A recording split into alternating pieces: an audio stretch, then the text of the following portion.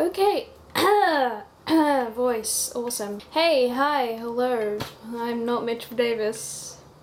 Sorry to disappoint you. If you are watching this, that means that you have survived Valentine's Day. What? Congrats, yo. High five. I wasn't trying to slap you in the face, but that probably was what it looked like to you. I'm sorry. My bad. So how'd you do? How was that?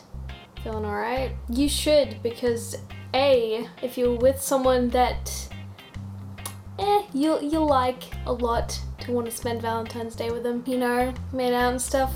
Good for you. Or if B, you took Nadine's advice and you made it a self-indulgence day, why wouldn't you enjoy it? Or if you, you know, curling you curl you curled up in the fetal position, crying, listening to I don't know, Taylor Swift or some shit.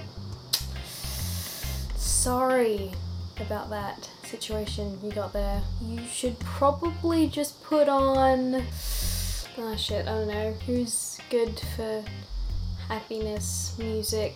I know you should listen to 80s music if you want to feel good, man. Except for um probably